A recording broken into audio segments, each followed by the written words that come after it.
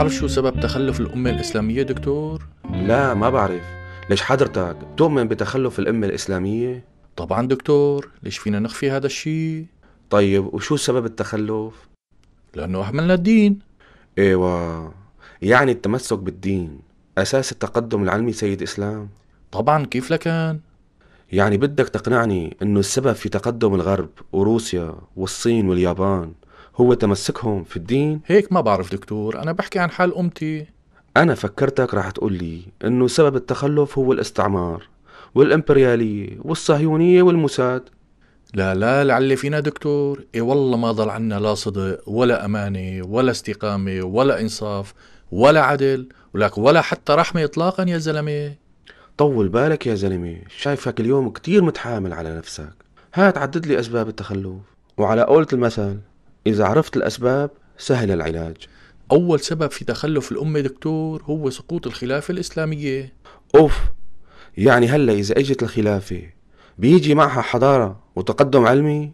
طبعا كيف لكان إيه عشنا وشفنا. وشو السبب الثاني؟ والسبب الثاني فصل الدين عن الدولة وعدم اتباع حكم الله.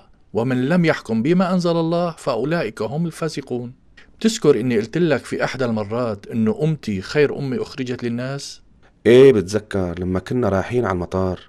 وبتذكر ليش نحن خير أمة إيه لأنكم تأمرون بالمنكر وتنهون عن المعروف. إيه علينا بتضلك تقولها بالقلب دكتور؟ تأمرون بالمعروف وتنهون عن المنكر يا أخي. طيب طيب وشو هلا؟ ولا شيء أهملنا شرع الله وبعد ما كنا خير أمة صرنا أخرى أمة لا سمح الله لا سمح الله سيد إسلام. اسمح لي أقول لك أنه أنت بتشوف الأمور سلبا. كيف يعني؟ يا أخي الدين لله والسياسة للبشر. ومثل ما قال المسيح أعطوا مال قيصر لقيصر ومال الله لله.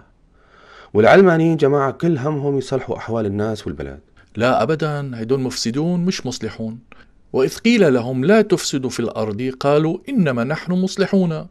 يعني إذا طاعوا الله والرسول تتحسن أحوال الأمة؟ ومن يطع الله ورسوله فقد فاز فوزا عظيما. السبب الأول والثاني ما خرطوا براسي. الثالث أكيد رح يخرط براسك دكتور. هات لنشوف شو السبب الثالث؟ السبب الثالث إنه تركنا الجهاد في سبيل الله. بطلنا نربي أولادنا على آداب الجهاد يا أخي. الله وكيلك صاروا يحبوا الحياة أكثر من الموت. ليش لازم يحبوا الموت أكثر من الحياة؟ طبعا كيف لكان؟ إن الله اشترى من المؤمنين أنفسهم وأموالهم بأن لهم الجنة. يقاتلون في سبيل الله فيقتلون ويقتلون. شوف سيد إسلام راح أكون صريح معك. الصراحة حلوة دكتور حلوة.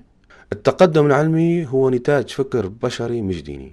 وتخلف الأمة تبعك ما له علاج لأنه متعلق بأمور دينية.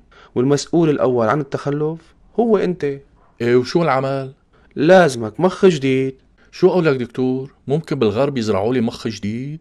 لا المخاخ اللي عندهم ما بتركب براسك لأنها مبرمجة على حرية الرأي والديمقراطية والإصلاح وفصل الدين عن الدولة. أنت بيلزمك مخ تفصيل.